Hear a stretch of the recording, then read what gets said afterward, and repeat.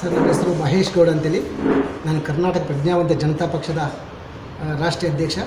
ನಾವಿವತ್ತು ಪತ್ರಿಕಾಗೋಷ್ಠಿನ ಕರೆದ ವಿಚಾರ, ನಮ್ಮ ಒಂದು ಪಕ್ಷದ ಪ್ರ- ಪ್ರಣಾಳಿಕೆ ಹಾಗೂ ಈಗಾಗಲೇ ಒಂದು ಐವತ್ತೈದು ಜನಕ್ಕೆ ಬಿ ಫಾರ್ಮ್ ನೀಡಿದ್ದೇವೆ. ನಂತರದ ಇನ್ನೂ ಕೂಡ ಕೊಡಲಿದ್ದೇವೆ.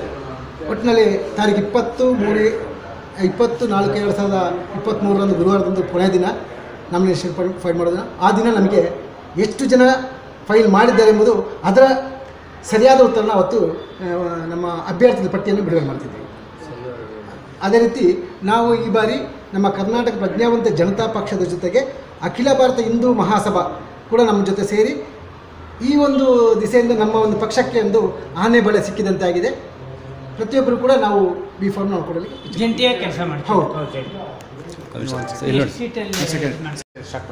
ನಾನು N Kishore Kumar Akhil Bharat Hindu Mahasabha state office secretary ಇವತ್ತಿನ ದಿವಸ ನಾವು ಕರ್ನಾಟಕ ಪ್ರಜ್ಞಾವಂತ ಜನತಾ ಪಕ್ಷದ ಜೊತೆ ಸೇರಿ ನಮ್ಮ ರಾಜ್ಯದ ನಾಗರಿಕರಿಗೆ ಒಂದು ಆಶ್ವಾಸನೆ ಏನು ಕೊಡ್ತಾ ಇದ್ದೀವಿ ಅಂದರೆ ನಾವು ಒಂದು ಭ್ರಷ್ಟಾಚಾರ ರಹಿತ ಮತ್ತು ಅಪರಾಧ ರಹಿತ ಆಡಳಿತವನ್ನು ಕೊಡ್ತೀವಿ.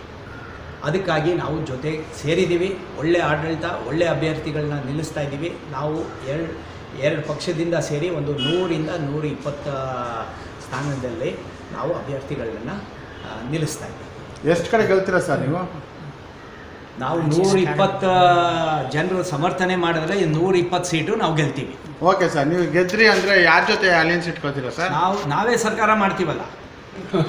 ಅಷ್ಟು ಗೆದ್ರೆ. ಹಾಂ ನಾವೇ ಸರ್ಕಾರ ಮಾಡ್ತೀವಿ. ನಮ್ಮ ಪ್ರಿನ್ಸಿಪಲ್ಸ್ಗೆ ಯಾರು ಬೆಂಬಲ ಕೊಡ್ತಾರೆ ಅವ್ರ ಬೆಂಬಲ ನಾವು ಸರ್ ತಗೊಳ್ತೀವಿ ನಿಮ್ಮ ಕಡೆ ಯಾರು ಸಿ ಎಂ ಕ್ಯಾಂಡಿಡೇಟ್ ಸರ್? ನಮ್ಮ ಕಡೆ ಸಿ ಎಂ ಕ್ಯಾಂಡಿಡೇಟ್ ಇವರು ಗೆದ್ದು ಬಂದ ಎಂ ಎಲ್ ಎಸ್ ಅಲ್ಲಿ. ಅವರೇ ಫ್ರೀಯಾಗಿ ಎಲೆಕ್ಟ್ ಮಾಡ್ಬೋದು. ಅವ್ರು ನೋಡಿಬಿಟ್ಟು ಅದು ಓಪನ್ ವೋಟಿಂಗ್ ಇರುತ್ತೆ. ಅಲ್ಲಿ ಯಾವುದೋ ಒಂದು ಮೇಲ್ಗಡೆಯಿಂದ ಬರೋ ಒಂದು ಒತ್ತಾಯ ಇವ್ರನ್ನೇ ಎಲೆಕ್ಟ್ ಮಾಡಬೇಕು.